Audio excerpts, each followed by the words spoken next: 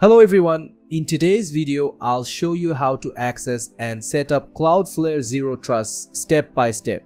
First, log in to your Cloudflare dashboard and click on the Zero Trust icon in the sidebar. The onboarding wizard will guide you to choose a team name which forms your team domain. Next, select a plan. Cloudflare offers a free plan for up to 50 users while paid plans provide additional features for larger teams. Once set up, enroll your users and configure authentication. Go to the Settings Authentication section.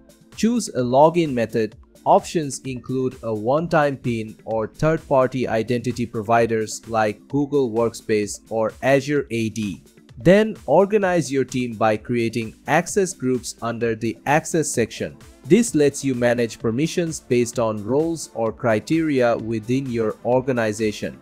Finally, add and configure applications in the Access Applications section.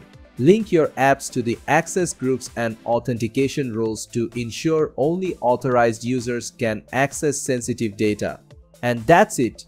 You've successfully set up Cloudflare Zero Trust, securing your network while keeping it efficient and reliable. Thanks for watching. Don't forget to subscribe and hit the bell icon for more updates.